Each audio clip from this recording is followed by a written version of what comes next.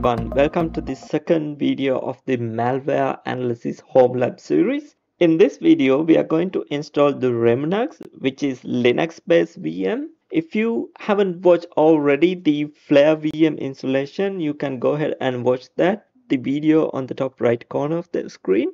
Flare VM is basically Windows based VM for malware analysis and the Remnux is for Linux based tool if you want to analyze the malware inside the Linux box, definitely you can use the Remnux for that. Without further ado, we can go ahead and install the Remnux. Before that, we need to download the Remnux VM. So there are few more options to install the Remnux VM.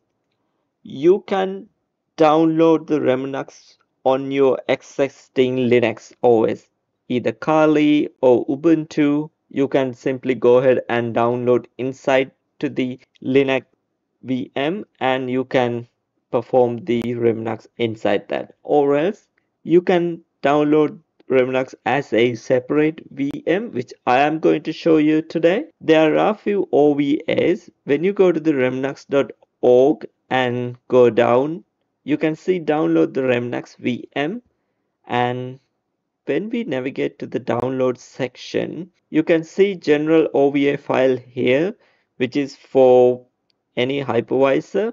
In my case, I'm going to use the VirtualBox as my hypervisor and I'm specifically downloading this OVA file to my laptop.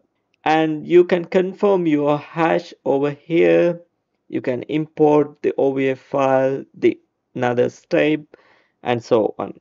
So without further ado, I'm going to download this one. Actually, I have already downloaded this inside my download folder. So I'm not going to download this one again. We can see now how we can install this in the VirtualBox. Simply, I will navigate to my Oracle VirtualBox and what I'm going to do here is I'm going to import that OVA file. So go to the download folder and as you can see my Remnux VM is not the VM, my Remnux OVA file is here. I can open this file and click next and I can select my installation location. I would say other location and I will do D drive and VM folder. I'm going to create a new folder here, Remnux, and I will select this folder to install this one. And I will keep the net for now. Maybe I will change it later for the network configuration and finish. If you still want to do some changes, do some memory allocations or hard disk allocations, you can customize that after importing the appliance to the Oracle VirtualBox Manager. So we just have to wait until it's been completed. Then after that, we can see what we can do with that. Okay, now the appliance is already been imported into the VirtualBox Manager. Here you can edit the settings like usual VM if you want to increase the system configuration and processes.